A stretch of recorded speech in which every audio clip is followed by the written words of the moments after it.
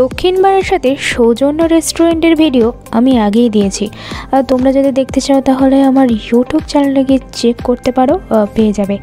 তো যাই হোক আমি গিয়েছিলাম কিছু নতুন জিনিস ট্রাই করার জন্য আর সেটাই তোমাদের সাথে শেয়ার করতে চলে এসেছি। তো চলো দেখা যাক কী কী ট্রাই করলাম।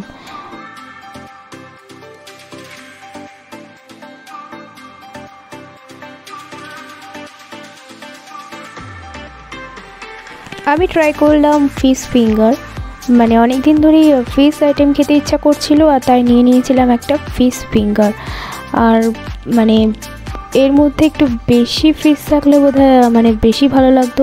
বাট ডিপটা দিয়ে খেলাম খারাপ লাগেনি, বেশ ভালোই লেগেছে। আর তোমরা এখানে গেলে অবশ্যই ট্রাই করতে পারো। আর এখানকার কাবাব আইটেমগুলো বেশ ভালো। তো এর আগে ট্রাই করেছিলাম। যাই হোক ফিশ ফিঙ্গার খেতে খেতে হঠাৎ গন্ধরাজ মরিচেরও কথা মনে পড়ে গেল। মানে এটা দিয়ে বেশ ভালো খেতে লাগছিল আর এটা দারুণ ছিল। মানে এখানে গেলে গন্ধরাজ মরিচটা আর আর আর আর মানে চলো দেখা যাক আর কি ট্রাই করলাম।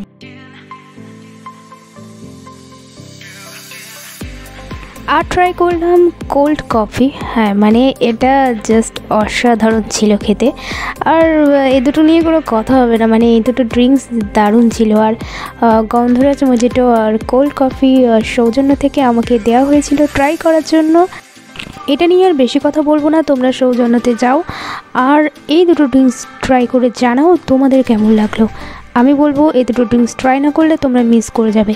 তো তোমরা প্রত্যেকেই সৌজন্য লোকেশন জানো, আর যারা জানো না, তাদের জন্য আরেকবার বলে দিচ্ছি, দক্ষিণ বারাসাত গার্লস স্কুলের একটু আগেই সৌজন্য। আর লিঙ্ক তোমাদের ডিসক্রিপশানে দিয়ে দেবো। আর সেদিনকে নিয়ে গেছিলাম দেউলিনাকে আর আমরা এভাবেই খাই। আর এখানেই শেষ নয়, সৌজন্য নিয়ে আসছে নতুন কিছু মানে হ্যাঁ থালির আইটেম নিয়ে আসছে, আর এখানে কিন্তু এটা প্রথম।